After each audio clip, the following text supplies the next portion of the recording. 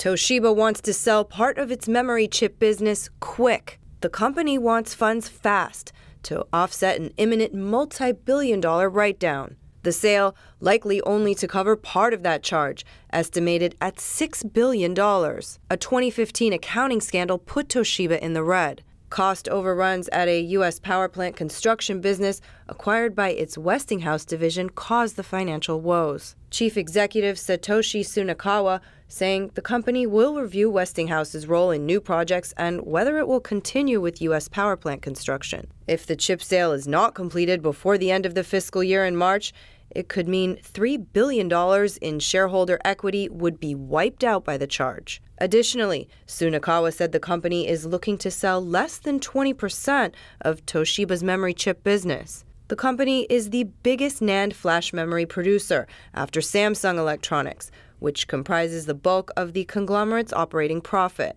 According to Reuters, an insider says Toshiba values its chip business at 1 to 1.5 trillion yen. That's about 9 to 13 billion dollars.